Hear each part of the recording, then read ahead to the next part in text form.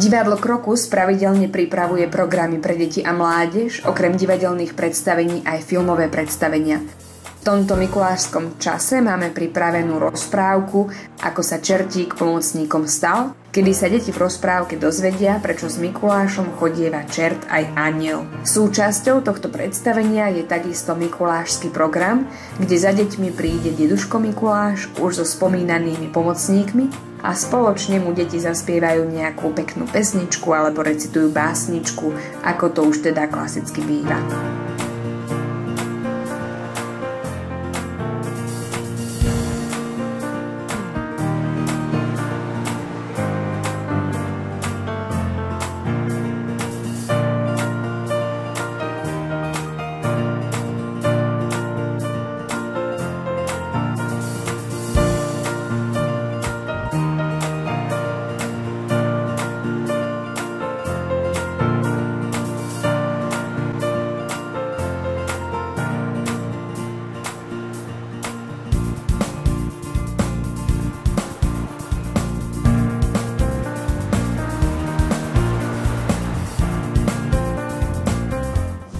Divadelná poetika je veľmi zaujímavá a každé predstavenie, aj keď sa jedná o to isté predstavenie, je jedinečné svojim eh, okamihom prítomnosti, ktorý sa vytvára práve v ten daný moment a čas, ktorý predstavenie realizujeme. Predstavenia, eh, naše divadlo, práve toto mikulášske predstavenie, Hráme od 2. až do 10. decembra každé predstavenie, približne ide o 20 predstavení, sa niečím odlišuje. Výnimočnosťou divadelného diela je naozaj ten prítomný čas. Niekedy sú to mladší diváci, starší diváci a vždy musí ten herec ako si odhadnúť aký spôsob tej interpretácie bude najlepší, najvhodnejší, najpútavejší, napriek tomu, že dodrží všetky režijné pokyny a nič, nič nezmení. Práve o to sa možno aj snažíme v tomto dokumente zachytiť jedinečnosť divadelného okamihu.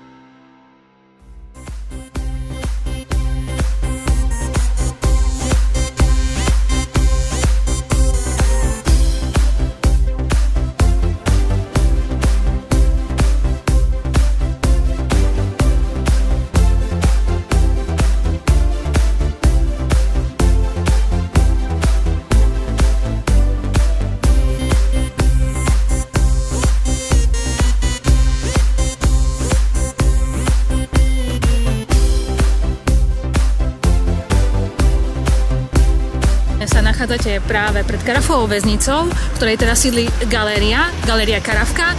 A práve prebehlo predstavenie, ako sa Čertík pomocníkom stál, ktoré bolo úžasné, deti sa veľmi tešili. Ďakujeme divadlu Krokus.